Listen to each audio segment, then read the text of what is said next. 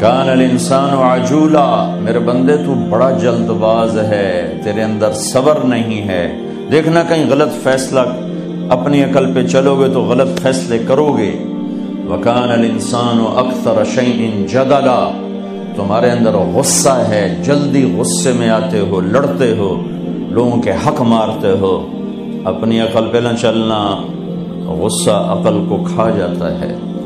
وکان الانسان قطورا. میرے بندے، تو بڑا کنجوس ہے، بخیل ہے۔ پیسہ دے دوں تو اور کی حوث لگ جاتی ہے۔ سمیٹنے کے لیے اوروں پر ڈاکے ڈالتا ہے۔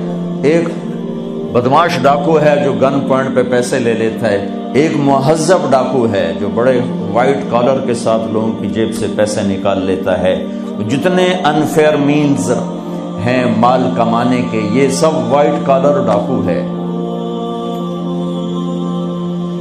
میرے بندے، وکان الانسان کفورا، تم نا شکرا بہت ہے۔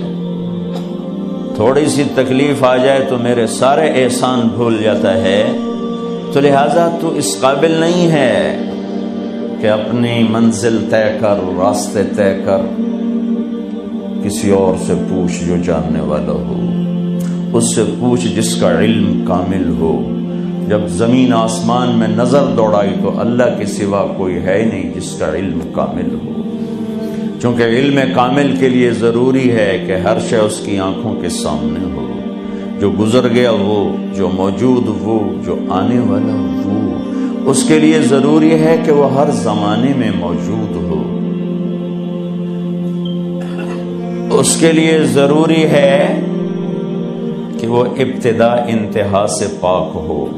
اس کے لیے ضروری ہے کہ کوئی چیز اس سے چھپی ہوئی نہ ہو۔ اس کے لیے ضروری ہے کہ اس کے اوپر کچھ نہ ہو جس کو دیکھنے میں مشکل پیش آئے۔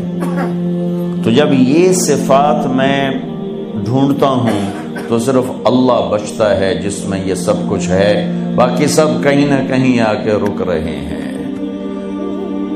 جو پیدا ہوا، جسے موت آئی